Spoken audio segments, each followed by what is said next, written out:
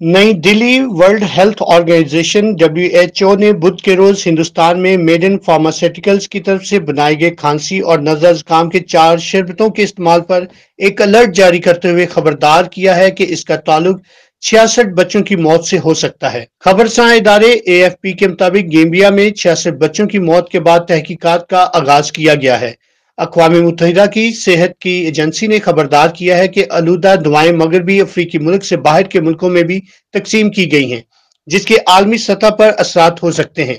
W H O के सरबराह Tedros Adhanom गैब्रियस ने कहा कि जेर बहस चार सर्दी और खांसी के शरबत मुमकिन तौर पर बच्चों की से मुंसलिक है।